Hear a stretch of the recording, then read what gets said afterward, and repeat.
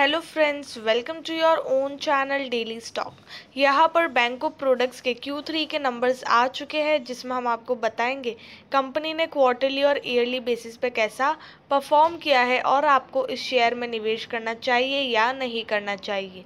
आगे बढ़ने से पहले, अगर आपने हमारे चैनल को सब्सक्राइब नहीं किया हो तो आप हमारे चैनल को सब्सक्राइब ज़रूर कर दीजिएगा।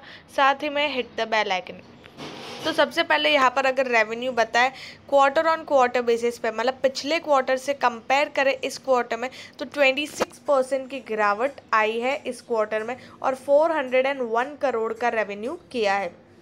नेट प्रॉफिट की बात करें तो वो 65 परसेंट से गिरा है क्वार्टर ऑन क्वार्टर बेसिस पे और 17 करोड़ का नेट प्रॉफिट कंपनी ने किया है। तो क्वार्टरली वाइज देखें तो कंपनी का रेवेन्यू भी अच्छा खासा गिर रहा है और नेट प्रॉफिट भी अच्छा खासा गिर रहा है।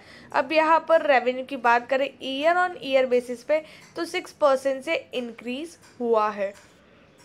और यहाँ पर नेट प्रॉफिट की बात करें तो वो फिफ्टी टू परसेंट से गिरा है ईयर ऑन ईयर बेसिस पे।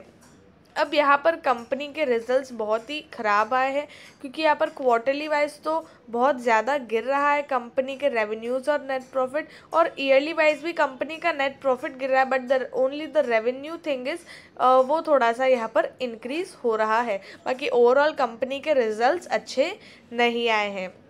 अब यहाँ पर बात करते हैं फाइव ईयर हाई तो टू सेवेंटी सेवन रुपीज़ का but currently one eighty point ten पे ट्रेड फ्राइडे का लास्ट ट्रेडेड प्राइस है। One point thirty four percent already ये डाउन था, लेकिन कंपनी के और बैड रिजल्ट्स आए तो ये शेयर आपको और नीचे जाता हुआ दिखेगा। तो अगर आपने सोचा है इस शेयर में ट्रेड करने का तो आपको इसे अवॉइड करना चाहिए और इस शे, इस शेयर में ट्रेड नहीं लेना चाहिए। आई होप कि आपको बैंक ऑफ़ प्रोडक्ट्स के क्यू थ्री के नंबर्स में समझ आ गए होंगे। अगर आपको वीडियो अच्छा लगा है तो please like and share and subscribe our channel और इफ़ आपके कोई भी डाउट है तो आप हमें कमेंट सेक्शन में पूछ सकते हैं। Thank you